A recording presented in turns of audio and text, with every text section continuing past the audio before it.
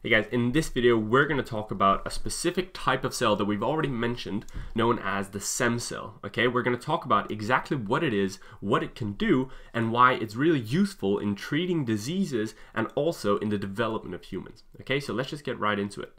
So what is a stem cell? A stem cell is a cell that still has the capacity to renew itself. Okay, so a stem cell can divide to form new stem cells, okay? So it's kind of replacing itself.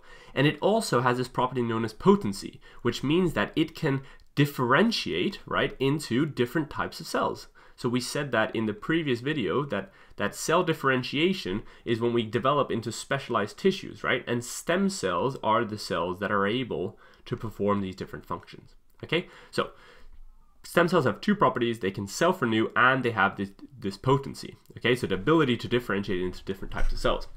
But there are different degrees or different strengths of potency okay? There are four different types of, of, of strength that stem cells can have okay? They can be totipotent which means that they can literally differentiate into any sem, uh, cell type okay even what we call extra embryonic tissue. Now, you don't really need to know exactly what that means, but essentially all it is is that it can develop into structures like the placenta. Okay, so in the embryo, when a when a cell eh, is developing into a human eventually, right? All the cells that are within the embryo itself that are going to form the human, those are the embryonic tissues, and something like the placenta that's not actually part of the embryo itself. That's what we call extra embryonic. And so um, totipotent cells can form both these types of cells. So those are the kind of like the, the king of stem cells. They can form any type of cell. Fine. Then we get some cells that can differentiate into any cell type, but not these extra embryonic tissues. Okay, and we call those pluripotent, so still very strong. We then have the multipotent uh, cells. Uh, so these are a, a very small uh, stem cells that can differentiate into a small number of related cells. So one example would be the, the stem cell that can form all the different types of blood cells, right? So white blood cells, red blood cells, okay? Those are what we call hematopoietic stem cells. And you don't have to know this, by the way. You just have to understand what, the, what this principle means. So all these cells, these these blood cells are related to each other, right? So the hematopoietic stem cell can form these different types of blood cells, but it couldn't go off forming a neuron, for example. So that's why it's multipotent. And then finally we have the unipotent stem cells. So these are, are what we also call as progenitor cells, and they can simply differentiate into one other type of cell. Um, you find these in muscle tissue, so these are stem cells that can form new muscle if regeneration is necessary, but they can only form one specific cell type. Okay, so those are different things you need to know about stem cell potency. Now you also have to understand that differentiation and stem cells is obviously going to be very necessary in the development. So what we mean by that is when we need to form, uh, go from one cell to a fully functioning human, right? A very pretty human here, right? In order to do this process, we need cell differentiation, right? Because we need different types of cells to form a human. So it's necessary in development, and then it's also useful in medicine. So there are two different diseases that I recommend you know for the exams. Um, the first is Stargardt's disease, which is essentially a disease of the eye. So this is an eye here.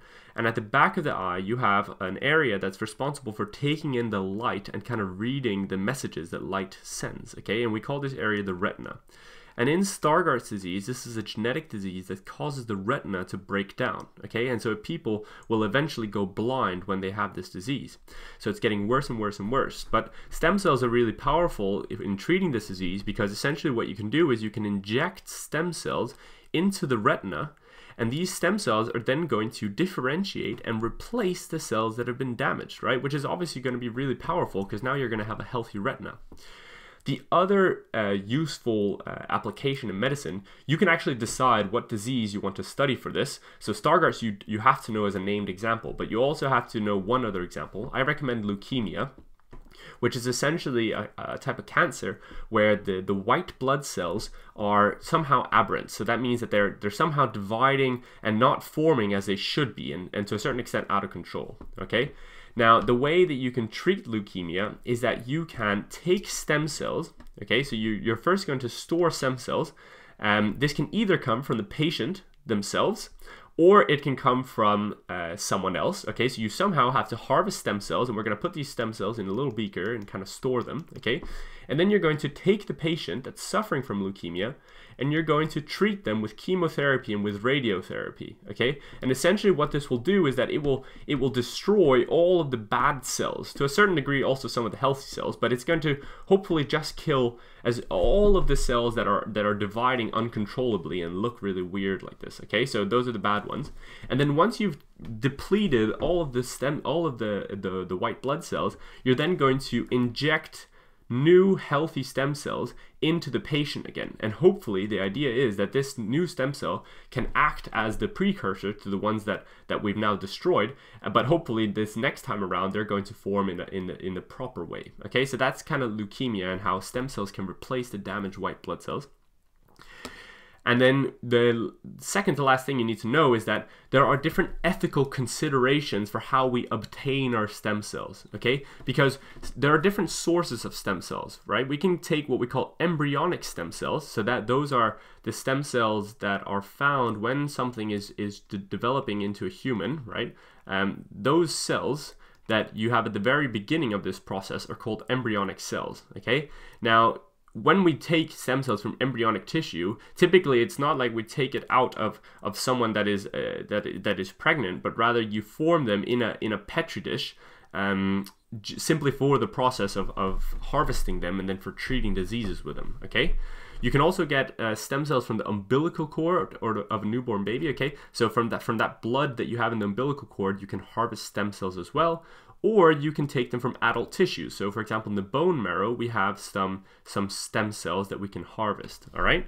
Now, so there, there's three different sources of stem cells, and there are pros and cons to each of these different sources. So for example, embryonic tissues, those are really powerful, right? Those are those totipotent cells that we talked about, or the pluripotent cells that we talked about in the first slide, right? And so they have a huge yield of the potential kind of applications that they can be used for, right? Treat loads of different diseases.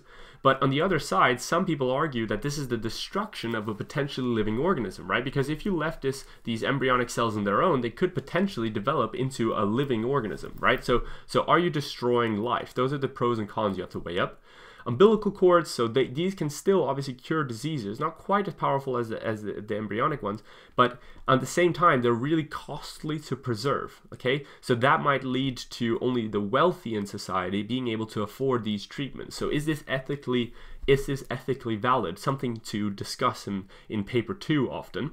And then finally, these adult tissues, like in the bone marrow. So these can these can cure diseases. There's not really a chance of there's a lower chance of rejection, which essentially means that if you've taken the stem cells from a from a leukemia patient, so if you took the stem cells from that person in the first place before then giving it back to them after chemo, right? If you're taking them from the person themselves and then injecting it back into them, well then the body's probably going to respond just fine to that. But if you were to take another person, right, and take their stem cells out, and then inject them into this person after chemo, there's a chance that the body won't accept these new stem cells. It will recognize them as damaging, and so it might destroy them. Okay, so the, the key is that that there's less chance of rejection, but there's obviously not this this this destruction of potentially living organisms.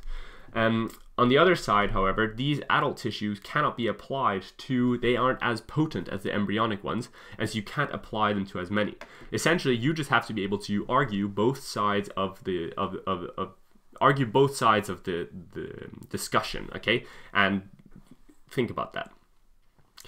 All right, so the key points to take from this video is that stem cells can renew themselves and are able to differentiate into different cell types. There are different types of cells with different strengths and they're necessary in development but really useful in medicine and that there are ethical considerations to take into account. So I hope that was useful.